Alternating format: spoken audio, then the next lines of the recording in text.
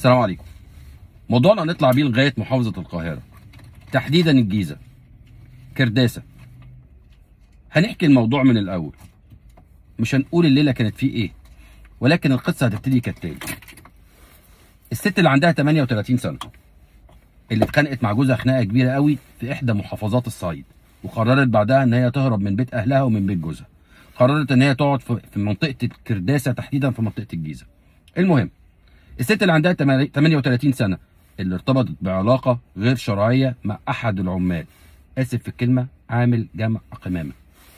ما بين قوسين عامل قمامة وخلاص مش هنقول الكلمة الثانية المهم العلاقة الغير الشرعية امتدت ما بينهم بعد ما عرض عليها إن هو تقعد معاه في البيت بتاعه ولكن لازم يقول لأهل المنطقة إن هي مراته. وبالفعل تم الموضوع ده وقال لأهل المنطقة إن الست دي تعتبر مراته وعلشان كده كانت قاعدة معاه. وهي مش متجوزاه وافقت على الموضوع ده على طول مباشرة. المهم بعدها على طول بفترة كانت على طول العلاقة الغير شرعية ما بينهم هما الاثنين زي الفل زي ما بيقولوا. سداح مداح الراجل ده كان عنده 27 سنة يعني لسه صغير. هي تكبره تقريبا بالسن بحوالي 11 أو 12 سنة. المهم بعد فترة مش صغيرة الست حملت. بعدها على طول ما عرفتش تعمل إيه قررت إن هي تقول لعاشقها إن هي حامل. وده الأمر اللي هو أثار غضبه. وفي الوقت ده كان مقرر هما الاثنين إن هي مفيش حمل ومفيش أي حاجة هي بس كل الليلة كلها إن هو بيراعيها في البيت بتاعه ومن الآخر بيرافقها. آسف في الكلمة. بعدها على طول الست قررت إن هي تقول له على الحمل بتاعها وخصوصا إن بطنها بدأت تكبر شوية. في الوقت ده بدأ يضربها ضرب مبرح بالحزام وقال لها انت لازم تنزلي الطفل اللي في بطنك. ما اتكلمتش ولا نطقت لأن هي وحدها سايبة أهلها وسايبة جوزها وسايبة عيلتها كلها. المهم قعد يضربها بالحزام وكان كل جسمها كدمات معينة. المهم بعدها على طول ناموا مع بعض زي ما بيقولوا وبعدها على طول نامت جنبه بقميص النوم. مفيش أي حاجة. صحي الصبح لقاها وهي جنبه قطع نفسها.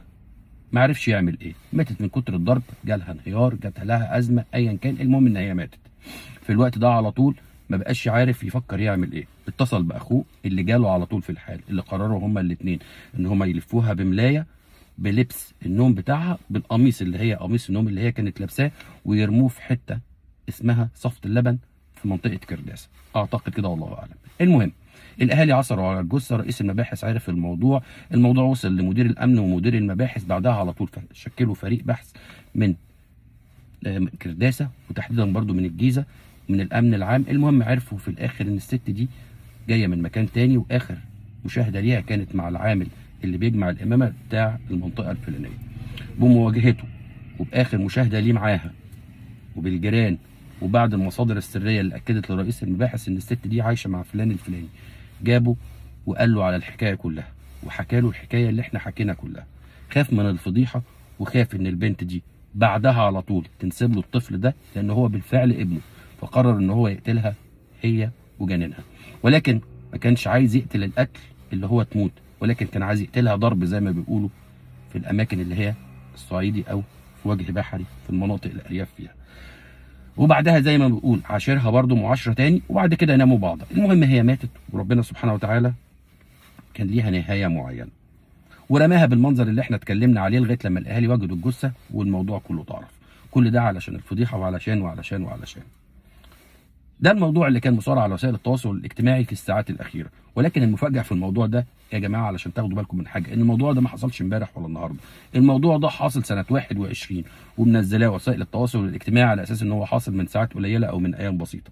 لا خالص الموضوع ده اللي يقراه هيعرف إن الموضوع ده من سنة 21 سنة 21 والموضوع أعتقد إن هو لغاية دلوقتي ممكن يكونوا خدوا أعدام أو لأ مش عارف أو مش متذكر ولكن الموضوع ده عملناه من فترة كبيرة جدا في الوقت بتاعه من ثلاث سنين.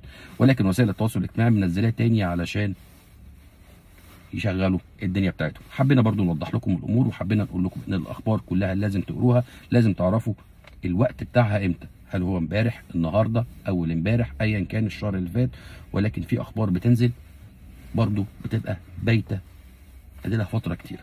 علشان نكسب بيها ترندات أو الناس تكسب بيها ترندات ده الخبر اللي كان نازل على وسائل التواصل الاجتماعي وكان منتشر بغزاره كتيره حبينا نوضح لكم الدنيا علشان تعرفوا الدنيا رايحة فين وجايه منين. السلام عليكم.